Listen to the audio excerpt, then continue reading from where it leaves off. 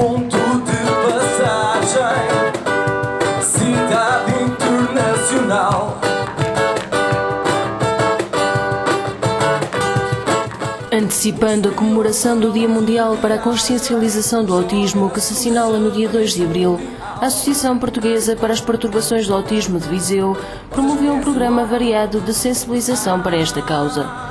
A iniciativa teve lugar no Rocio em Viseu, local onde a cor azul, a cor associada ao autismo, ganhou nova dimensão.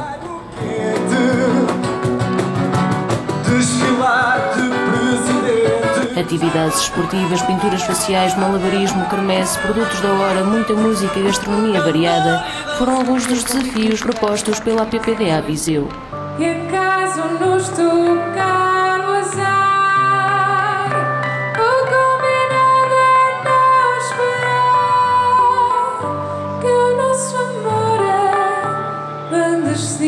Foram ainda libertados balões e acendeu-se uma luz pelo autismo, lema da causa ao nível mundial.